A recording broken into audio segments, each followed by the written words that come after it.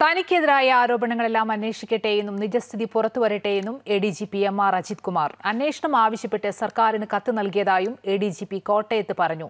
Police association സമ്മേളന വേദിയിൽ മുഖ്യമന്ത്രിയുടെ പ്രസംഗത്തിന് പിന്നാലെ എ ഡി ജി പി മുഖ്യമന്ത്രിയെ പ്രശംസിക്കുകയും സേനയിലെ തന്റെ നേട്ടങ്ങൾ പറയുകയും ചെയ്തു. ഇത് പറയാൻ അവസരം ലഭിക്കുമോ എന്നറിയില്ലെന്ന് വേദിയിൽ പറഞ്ഞ ശേഷമായിരുന്നു മാധ്യമങ്ങളോടുള്ള പ്രതികരണം. എനിക്ക് റേസ് ചെയ്തിട്ടുള്ള എല്ലാ ആരോപണങ്ങളുടെയും നിജസ്ഥിതി മനസ്സിലാക്കി സർക്കാർ സംവിധാനങ്ങൾ ഉപയോഗിച്ച് അന്വേഷിക്കാനായിട്ട് ഞാൻ കത്ത് ബഹുമാനപ്പെട്ട മുഖ്യമന്ത്രിക്കും ബഹുമാനപ്പെട്ട ഡി ജി പിക്കുമുണ്ട് അവരന്വേഷിക്കട്ടെ.